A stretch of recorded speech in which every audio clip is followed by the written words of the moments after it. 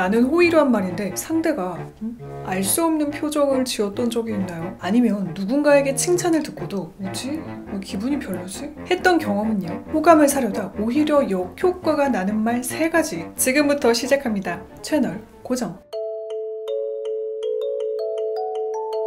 안녕하세요 희련추입니다. 좋은 뜻으로 상대에게 이야기를 했더라도 전달 방법에 따라 그 의미가 다르게 해석되기도 합니다. 나의 좋은 의도가 서툰 표현으로 인해서 잘못 전달되는 것만은 막아야 하잖아요. 제 예전 영상 중 내 의도와 달리 말 때문에 오해를 산다 하는 영상이 있었는데요. 특히 그분들이 계신다면 오늘 영상은 꼭 봐주셨으면 합니다. 오늘은 표현에 대한 고찰을 통해 좋은 뜻을 더욱 정확히 전달하는 방법에 대한 이야기를 해볼 거거든요. 그럼 시작할까요? 호감을 사려다가 역효과가 나는 첫 번째 표현입니다. 1. 칭찬 속에 타인에 대한 비하, 비교가 들어있을 때 분명 칭찬의 말을 들었는데 기분이 이상하게 찝찝한 경우가 여기에 해당됩니다. 그냥 사장님네 떡볶이가 최고예요. 라는 최상급은 괜찮습니다. 나한테 최고라는 거니까요. 그런데 여기에 구체적으로 누군가 비교를 하거나 비방을 하는 말이 들어가는 칭찬은 조심하시는 것이 좋습니다. 여기 옆에 생긴 땡땡 떡볶이는 좀 자극적이기만 하고 떡도 별로더라고요. 사장님의 떡볶이가 최고예요. 어떤가요? 느낌이 좀 다르죠? 아직 느낌이 팍 덜 오는 분들을 위해 또 다른 예시 나갑니다. 히레니는 참 열심히 살아서 보기가 좋아 라고 말할 것을 이렇게 말하면 어떻게 들리는지 한번 들어보세요. 희련이는 요즘 친구들에 비해서 열심히 살아서 보기가 좋아. 모모의 비애라는 비교 표현이 들어가면서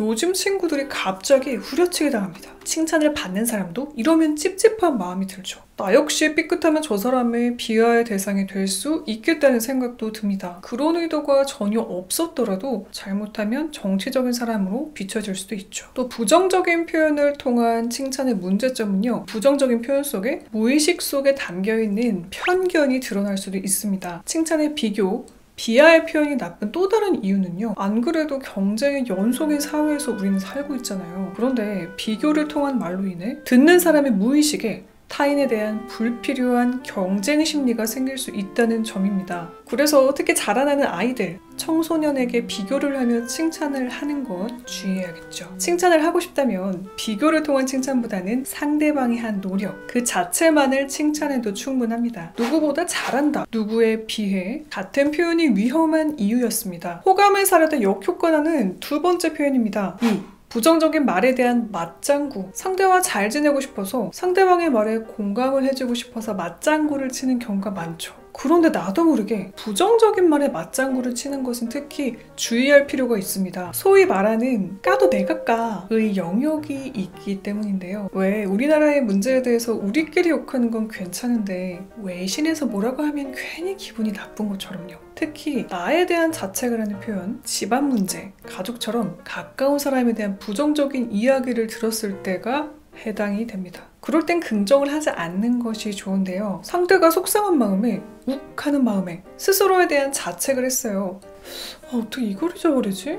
기억력이 나쁜가 봐. 그치, 너가 좀 그렇긴 하지. 응? 부정적인 말에 맞장구를 치는 순간 그건 투정이 아닌 사실, 평가로 느껴져서 상대에게 상처가 될 수 있습니다. 설사 그 말이 어느 정도 맞다고 느껴지더라도요. 부정적인 말에 대한 즉각적인 호응은 하지 않는 것이 좋습니다. 즉시 맞장구를 치는 순간 상대는 반감이 들 수 있기 때문입니다. 가족에 대한 부정적인 이야기 역시 마찬가지인데요. 부정적인 이야기에는 굳이 맞장구를 치는 대신에 아 그래 그랬구나 처럼 묵묵히 이야기를 들어주는 편이 훨씬 더 상대와의 관계에 도움이 됩니다. 편을 들어주려다 오히려 장기적으로 관계가 틀어지는 상황이 발생할 수 있기 때문이죠. 서로 터놓고 다 이야기하는 사이에도 마찬가지입니다. 자존심, 자존감의 영역, 상대가 계속 봐야 하는 가족에 대한 부정적인 공감은 조심할수록 좋겠죠. 물론 서로 긍정적인 이야기만 하면 좋겠지만 대화라는 게 때론 부정적으로 흘러가기도 하니까요. 만약에 실수로 부정적인 상대의 말에 공감을 했어요. 그럼 바로 정정해주는 것이 좋습니다. 아, 내가 잘못 들어 서 맞다고 했어. 아니야, 이번엔 실수한 거지. 더 잘할 수 있어. 처럼 말이죠. 호감을 사려다 역효과가 나는 멘트 마지막입니다. 3. 지나치게 수동적인 긍정 멘트. 조별 과제 혹은 회사의 회의처럼 의견이 필요한 순간이 있습니다. 그런데 상대를 지나치게 배려한 나머지 모두 긍정을 하는 경우가 있어요. 자기 의견을 내지 않고 말이죠. 여기서 말하는 건 정말 잘 맞는 상대여서 긍정을 하고 좋은 분위기가 형성되는 게 아닌 의견이 필요한 순간에서 어, 다 좋아요. 네네.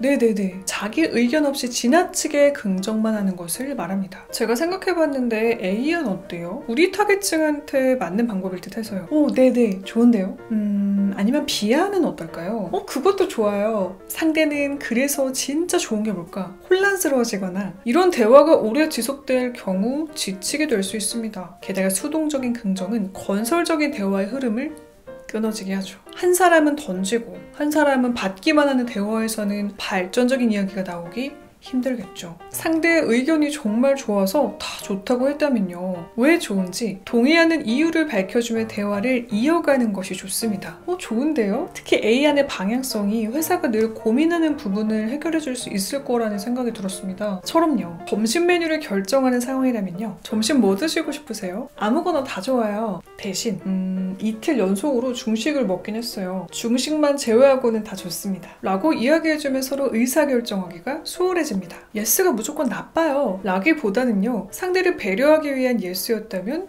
의사결정이 필요한 순간에는 조금 더 구체적으로 이야기를 할 것. 제가 3번에서 이야기하고 싶은 포인트였습니다. 자, 이렇게 오늘은 상대를 배려하거나 호감을 사기 위해 했던 말들이 오히려 역효과로 돌아오는 상황에 대한 이야기를 해봤습니다. 정리의 시간 1. 칭찬 속에 타인에 대한 비하, 비교가 들어있을 때 2. 부정적인 말에 대한 맞장구 3. 지나치게 수동적인 긍정 멘트였습니다. 말을 하는 내 의도가 좋은 것이었고 상대에게 호감을 보이려 했던 것이라면요. 이를 제대로 표현하는 표현력을 기르는 것, 원만한 관계를 꾸려가는 시작이 됩니다. 오늘의 영상도 도움이 되었길 바라며 지금까지 히렌츠였습니다. 오늘도 채널 고정해주신 여러분들 내일도 최고길만 걸으세요. 안녕 뿅